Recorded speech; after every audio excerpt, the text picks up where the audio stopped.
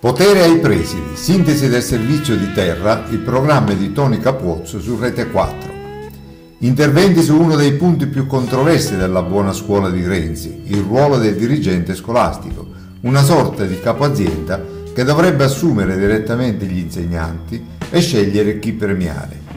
Un potere enorme e una grande responsabilità nel servizio di Lorena Bari sentiamo gli interventi di insegnanti, dirigenti, scolastici, professori universitari e di Rino Di Meglio, coordinatore nazionale della Gilda degli insegnanti.